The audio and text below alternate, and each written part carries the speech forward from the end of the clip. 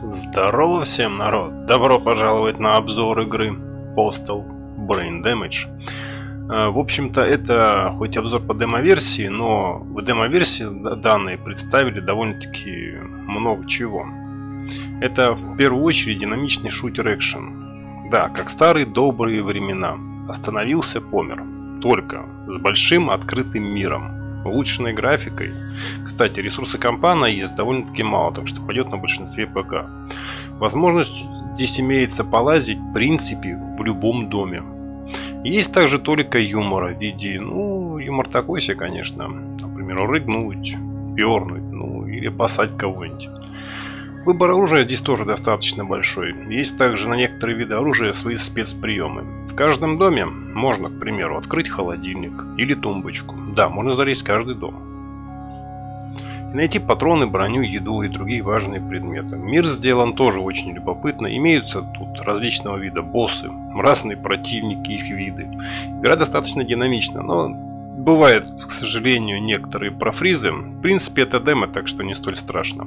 Графика глаза не режет. Она не супер, но и неплохая. И достаточно умен. Сильно не тупит. В целом, приятная игра, которой можно неплохо провести время или вечерок.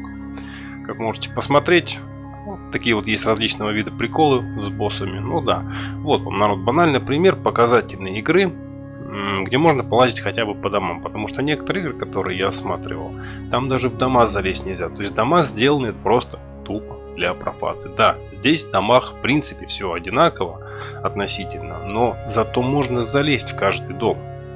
Я же говорил как-то уже раз, неважно как сделано, вы дайте возможность залезть и разнообразьте так, чтобы это хотя бы не бросалось в глаза. Здесь да, одинаково, но везде разные виды ресурсов. В какой-то спальне вы можете найти, к примеру, там босса, можете найти старичка с ружьем, или две собаки, или просто гражданских обычных людей, с которых мы получаем, кстати, продукт питания, который повышает наше общее ХП. Да, одинаково сделано, но одновременно и по-разному. Всем удачи, всем пока. Это, кстати, тоже банально показательный пример, как надо делать игры. Просто, удобно, красиво и с комфортом. И приятно в такую игру, если честно, играть.